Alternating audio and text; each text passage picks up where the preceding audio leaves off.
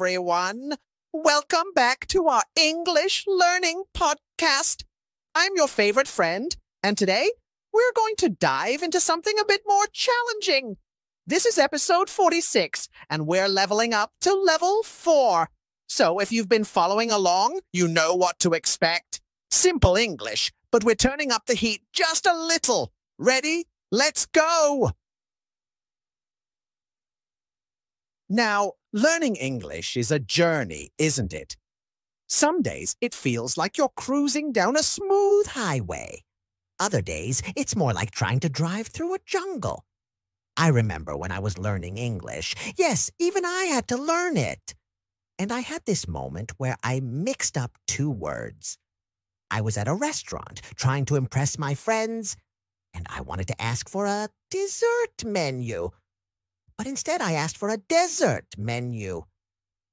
The waiter looked at me like I was crazy and said, Are you sure you want a dessert? It's pretty dry out there. My friends laughed, and I wanted to disappear into that desert I just ordered. Has anything like that ever happened to you? It's okay if it has. We've all been there. Speaking of deserts and desserts, do you know the difference between the two? It's all in the pronunciation. Desert is a dry, sandy place, while dessert is the sweet treat you get after a meal. Remember this. You always want more of the sweet stuff, right? That's why dessert has an extra S, because you want seconds. Little tricks like this can really help when you're learning a new language. Do you have any tricks that help you remember English words? I'd love to hear them.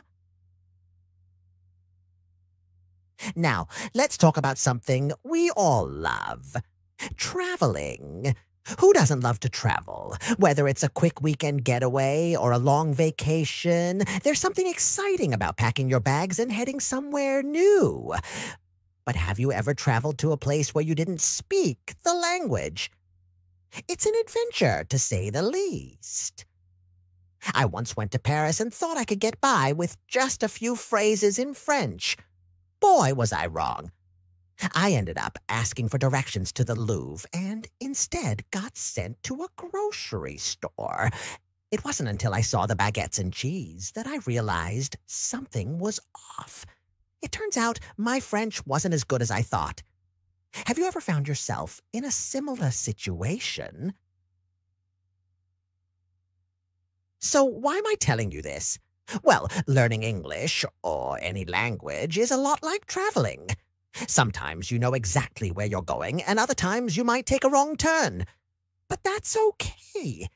The important thing is to keep going, keep exploring, and most importantly, keep having fun. If you make a mistake, laugh it off and keep moving forward. What's the funniest mistake you've made while learning English? I bet it's a good story. Let's switch gears a bit and talk about something that's often overlooked but incredibly important. Listening. Yes, listening. We all love to talk, but how many of us are good listeners? Listening is key when learning a new language. It helps you pick up the rhythm, the tone, and the nuances that make English so unique. Have you ever noticed how some words sound different depending on who says them? It's fascinating. For example, Americans and Brits might both speak English, but sometimes it feels like they're speaking two different languages, right? Here's a fun exercise for you. Next time you're watching a movie or listening to a song in English, try to focus on the accent. Can you tell if the speaker is from the US, the UK, Australia, or somewhere else? It's like a game, and the more you play, the better you'll get at recognizing different accents. Speaking of accents, do you have a favorite? I think the Irish accent is pretty charming, don't you? Let's move on to another topic. Expressions. English is full of weird and wonderful expressions. Some of them make sense, and some... Well, some make you wonder who came up with them in the first place. For example, have you ever heard the expression, it's raining cats and dogs? It means it's raining really hard, but can you imagine if it actually rained cats and dogs? That would be chaos. What's your favorite English expression? Or better yet, what's the most confusing one you've heard? Here's a little challenge for you. Try using an English expression in a conversation today. It might feel strange at first, but the more you use them, the more natural they'll become. And don't worry if you get it wrong. That's part of the learning process.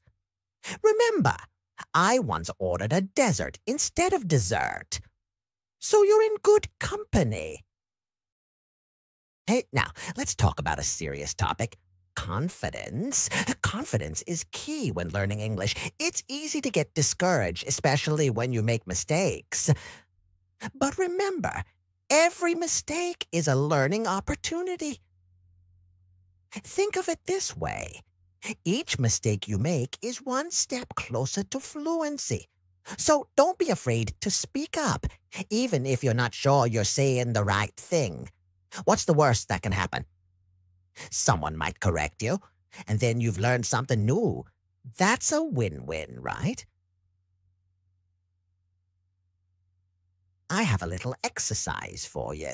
The next time you're speaking English, whether it's with a friend, in a class, or even just talking to yourself in the mirror, try to speak with confidence. Pretend you're an actor playing a role. How does that character speak? How do they hold themselves? You might be surprised at how much this can help, and who knows, you might discover that you have a hidden talent for acting. Before we wrap up, let's do a quick recap. Today, we talked about the journey of learning English, the importance of listening, the fun of playing with accents, and the power of confidence. Remember, learning English is a marathon, not a sprint. Take your time, enjoy the process, and don't be afraid to make mistakes. After all, mistakes are just proof that you're trying, and trying is what it's all about. I hope you enjoyed today's episode and that you're feeling a bit more confident in your English skills. Remember, the more you practice, the better you'll get. And most importantly, keep having fun with it. Learning a new language is one of the most rewarding things you can do. So don't give up. Keep going, and I promise you'll get there. Thank you so much for listening today. If you enjoyed this episode, don't forget to subscribe and share it with your friends. And if you have any funny English learning stories, tips, or questions, I'd love to hear them you can reach out to me via comments.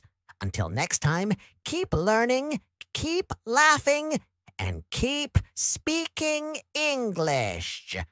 Bye for now.